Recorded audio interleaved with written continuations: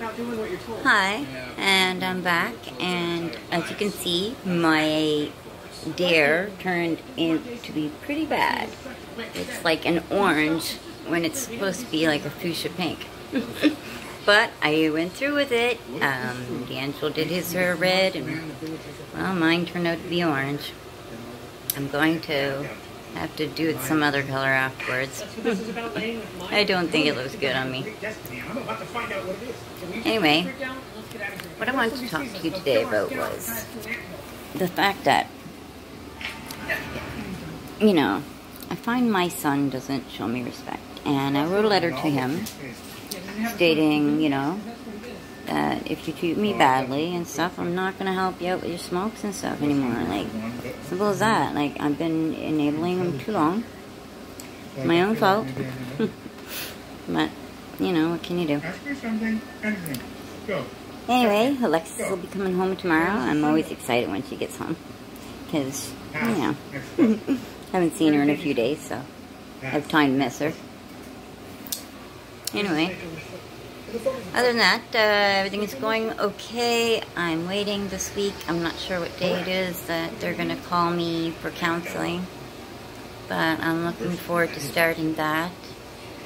Um, I need to get some kind of counseling because, you know, it's it's crazy. I guess how he acts too kind of breaks my heart too, you know.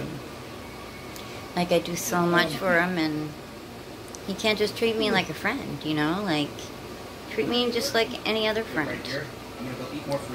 Um, hopefully, I'll stop this thinking enabling that I've been doing, you know, by taking care of cigarettes and getting him whatever he wants, usually. Uh, tonight he flipped out saying, oh, you're supposed to get me a phone. I never agreed to pay for a phone for him. I'm not rich. I'm on income assistance. I don't make that much and I have to take care of a seven-year-old. I told him that I would always, I'll come once a week. I'll bring you a bag of food. You know, I'll always help you out with food. But things have to change, and you can't be treating me badly all the time like that. That's not right. I treat him really good. Um, but it all has to do with me enabling him to like you know even with his behavior you know uh, i still gave him cigarettes and and stuff you know so not really sticking to my grounds. So this is what i'm going to do. I will let you guys know how it goes and uh, i'm pretty sure that it will go well. Um, it might be tough at first you might get angry and so on but it's something i have to do uh, you know, I can't reward bad behavior. And I'm trying to work my best at my daughter as well and try not to make the same mistakes I made, you know, with uh, D'Angelo. And I know I'm the pushover, and I probably will always be the pushover. but, can you do? It's just part of me. I, I, I like to just love my kids to death, so to speak. um, but I'm always looking forward to her coming home because I miss her so much. Even if she's just gone for a day, it's too long for me. um, but her father does do a good job, like, far as financially. Like, he gets her what he, whatever she wants, you know, and stuff. Um, I think that's more kind of like buying someone's love and I found out that never works. uh, I just spoil them with love and not objects because objects are nothing. You know, if you don't have love and uh, understanding and being able to feel comfortable to talk to your child uh, and your child to talk to you. So she's comfortable with talking to me about anything, like, and she knows I'm not going to judge her or anything like that. But she does know there's rules, and there are rules in my house. Um, there's nothing like what happens with D'Angelo not picking up after himself and stuff. Uh, that's some things that, you know, I didn't, I, I did everything for him So it really didn't give him a chance to do anything on his own and, and to learn right. And that's my fault there. And uh, there's nothing I can do to correct that. But I can correct my daughter. And it sounds crazy, but I'm glad that her father is very disciplinary in certain ways. Um, I don't always agree with how he does it, but um, she listens to him and she respects him. So, you know.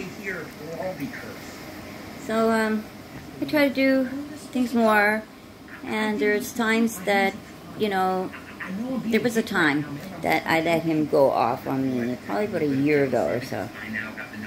Um, I let him go right off for like 10 minutes. I cried the whole time, but I, I listened to everything he said and his opinion on everything. And I figured maybe you just gotta let it out, you know, and maybe we'll leave less anger towards me or something, you know, because I don't really do anything to piss him off. Like, he just doesn't agree with some of my things that I do parenting, maybe, I don't know, but anyway. I wish that he knew how good of a mom I really am. Like, he never had the time to really get to know me that way because of him putting his hands on my child when he was 13 uh, 12 whatever almost 13 so it kind of went downhill from there. I, I, I let him stay around for the pregnancy and the birth and everything even though he didn't make it in time and I felt so bad because he cried about that but it was coming out whether he liked it or not, you know. But I would just love to hear once him say to me, like, thank you for having such a beautiful little girl for me, you know, like, and making me a dad. Like, just to know that instead of hearing, you know, well, I wish I didn't have it with you. Um, and it was crazy, but I said this thing. I said I felt like a lobster. And I told my sister this, and it was funny, because later on in life, she, she got to a point in her relationship after she had kids that she felt like that for a short while. And it was, I said, I feel like the lobster. It's like now the meat's gone out of me, which is was the baby, and now I'm just the empty, stinky shells that you want to throw out in the garbage as quick as you can so they don't stink up your house. I know that sounds so hilarious, but that's exactly how I felt. You know? And uh, I just want to hear him say, you know, thank you for having such a beautiful little girl for us, you know. The thing is, if he had have had that child with someone else, it wouldn't be the child that it is today. And she is just precious, and I wouldn't change anything about her. She's perfect to me. Um, she has my attitude. She does have that, which I hope that she'll always keep. I want her to be able to step, stand up for herself. Uh, when anybody ever like tries to put her down or, or anything, I want her to stand up and say, "No, you're not going to treat me like this," and that's it. Plus, she'll have her dad. Her dad will like kick their butt. I'm sure. Um, anyway, other than that, um, he had a good time in Halifax, and uh, I saw his vlog, so they look really good. Um, he enjoyed himself. My brother's doing a good job there, and I, I really appreciate my brother for doing these, and my sister, and paying to get him up there, hopefully once a month. Uh, he needs to become more responsible about his things and not wait till the last minute, of course, but um, I don't know, maybe he learned from this experience there. Like, it was very stressful trying to get money to him and, and everything and everything working out. But it did with my help and other people's help. We made it okay. Now, hopefully, you know, my sister got him a bike. That was really great. It's a nice bike, too. And, uh, so, you know, it's a start. And I know that I can't, like, get his phone right now, but you, you know, or help him out with the phone right now. Uh, but, you know, there's always next month. You know, I'll be able to put some more in and you'll have more money to yourself after you paid um, pay him back the hundred dollars you owed her and that she lent you, and uh, thirty dollars towards the ticket just to show responsibility. But I guess it's basically it's time for it to grow up now. For him, he's 20 years old, and uh, he's a wonderful child, and he's a really great friend. I've seen that in him with his other friends. He's a very true friend. And uh, I hope one day that he can treat me and make me feel like that friend too. And in order to do that, I do have to cut him off with things like not getting, giving him cigarettes and, and so on, or any extra money whatsoever for anything. Just, you know, but I, I told him I'll always help you out with food, always. So that promise I will keep, even if I could put it on his doorstep and ring the doorbell. but there's a lot of rules. He can't be freaking out like he did before in front of Alexis or anything like that because then he won't be allowed over here when Alexis is here because I won't be able to trust him.